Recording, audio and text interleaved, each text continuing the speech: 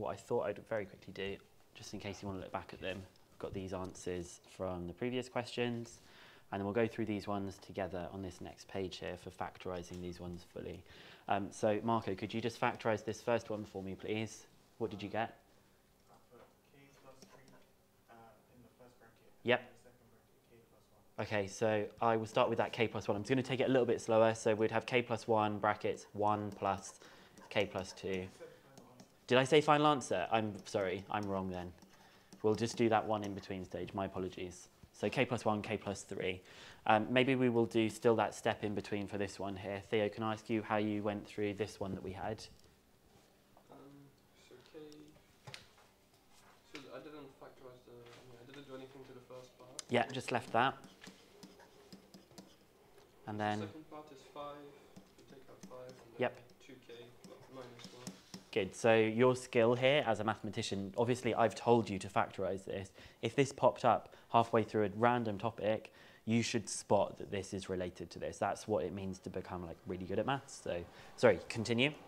Um, so now k squared plus five. And two k minus. and 2k minus 1. And that one's just going to stay as it is because we can't do anything to this k squared plus 5. Okay, so for this last one, um, Marco, would you just take me through what you did, what you took out, and, and what we had then? Yeah, that seems to be. They've all got a bracket with k plus 1. But remember when we're factorising, we always want to take out, what do we want to take out when we're factorising? Good, the highest common factor. And so the highest common factor is actually a k plus 1 squared. And you, if you can force it to be the highest common factor all the time, this topic will become really easy. So what did you then have for your next brackets? Nice. Yep. K, plus 1 has got to be in the brackets as well. Yep. Yep. Minus 1. So you got your plus k squared from here and your minus 1 from here.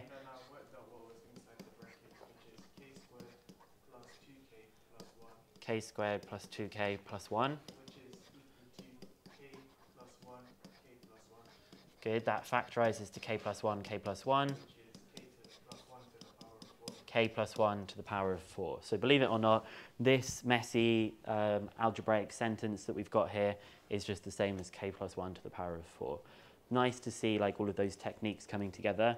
Um, really, I guess the whole thing here is if something has got a common factor, like in this case it was k plus 1 squared, you're no longer really imagining it as this complicated looking thing. You're actually just imagining it as one single thing, like you would imagine it as a normal algebraic term as x. If you can start to see it in that way, then this will all kind of drop out uh, really, really nicely. Okay, so that's us like having finished some of those bits on factorizing. We'll move on to series.